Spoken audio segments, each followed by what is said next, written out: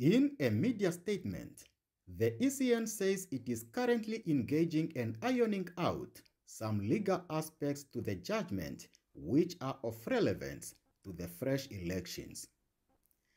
The affected political parties and contestants will be engaged in due course in order to share the proposed electoral calendar as well as other aspects of the elections.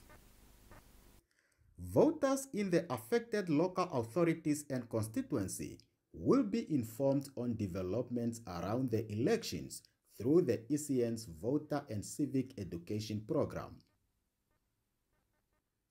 The voting date will also be communicated to the general public as soon as consultations with relevant stakeholders are completed.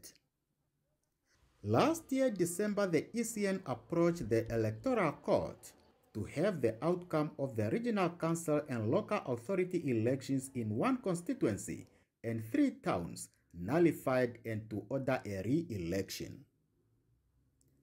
This comes after the Commission detected serious procedural errors in elections in those areas. The Commission said it has discovered that some voters used the wrong ballot papers.